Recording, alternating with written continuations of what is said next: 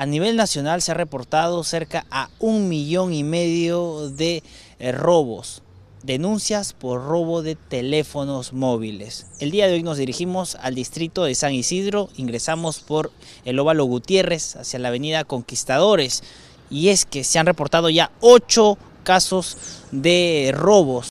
Son ocho robos en lo que va de este mes. La mayoría en vehículos menores.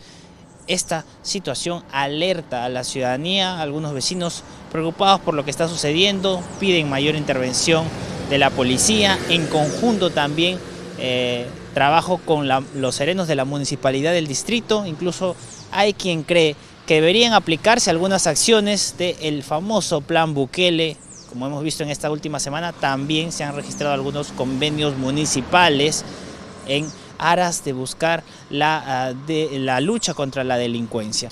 Ahora que usted ha venido, ¿cómo ve estas calles? Ahora que están robando más. Bueno, a mí me parece que por el momento está despejado, ¿no? Así es, Sí, ¿no? Pero desolado, no hay Sí. movimiento. será por lo que es feriado. Robos este mes de agosto por esta zona, amigo. Usted que conoce por aquí, ¿cómo lo ve? ¿Qué piensa? ¿Patrullaje hay?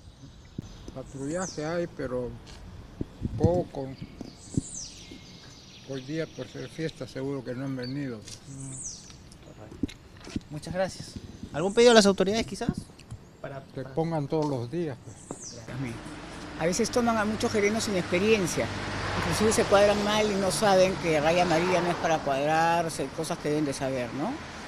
Y después, bueno, ¿por qué crees? Porque la delincuencia ha crecido enormemente y porque el gobierno no hace nada para mejorar eso. Hablan, hablan, dicen que van a hacer, pero no hacen nada. ¿Pero sí hay patrullaje en esta zona regularmente? Mira, hay más serenos que patrullaje, pero sí hay, sí hay patrullaje. Bueno, sé que la alcaldesa pidió tener más serenos y más patrullaje, pero los regidores, no sé por qué motivos, no le han aceptado. No sé si ya le habrán aceptado. Algunos alcaldes buscan el convenio Bukele. Como vecinos a Isidrino, ¿usted estaría de acuerdo? ¿Piensa que se aplica aquí? Yo creo que algunas cosas de Bukele yo las aplicaría. No todas, porque si va a ser una dictadura no la acepto ni de derecha ni de izquierda, pero algunas cosas sí, ¿ah? son necesarias en este país.